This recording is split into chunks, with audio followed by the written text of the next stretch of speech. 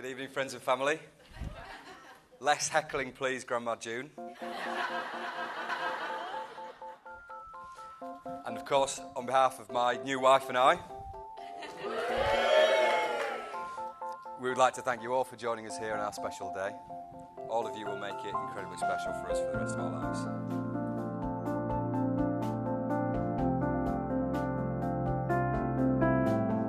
lives. Louise, you are absolutely stunning. Today's no exception because you are always stunning.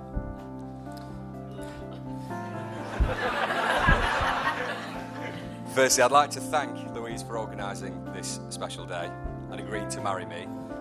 As lots of my friends tell me on a regular basis, I am actually very lucky.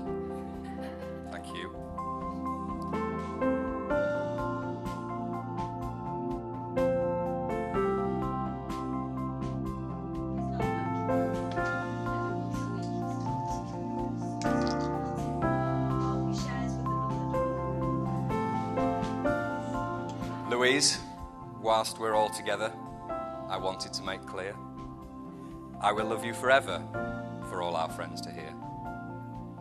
Thank you for the time you give me to play sports and your continued acceptance of my favourite denim shorts. Ten years ago, we met at the Fox. Then at the lake in Sweden, I presented that box. I asked Shell for your hand, and he said, okay, but not before warning me of your ability to get your own way.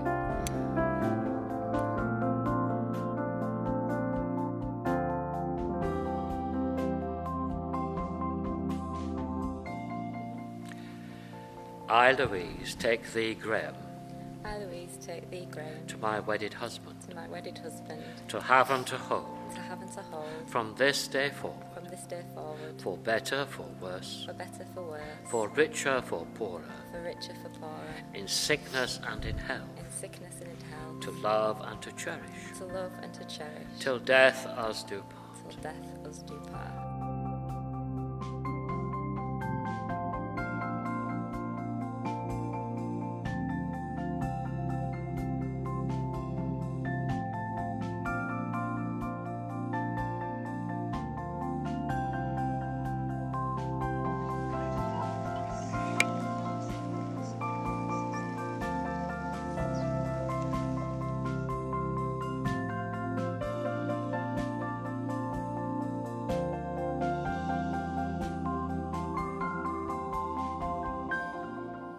I'm not going to talk that long to make you boring because I'm not a good man to have a speech. This is the first time in my life I've done it. I just want to say how proud I am of my beautiful daughter. I'm sure you will all agree she looks absolutely amazing today, as she always does.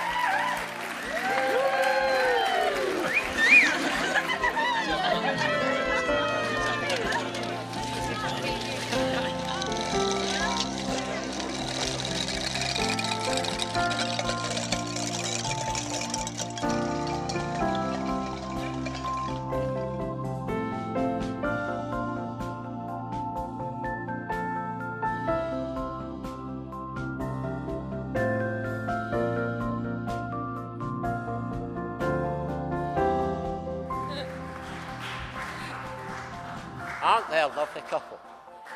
She can't wait for this next bit. Graham, you now may kiss your bride.